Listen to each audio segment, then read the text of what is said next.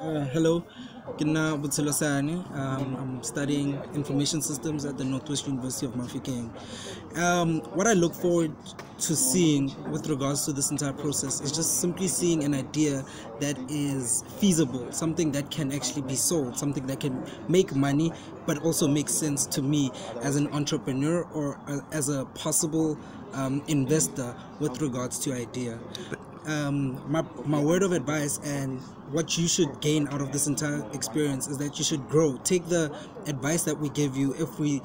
feel that the idea is not, you know, feasible enough or it's not practical enough. Take that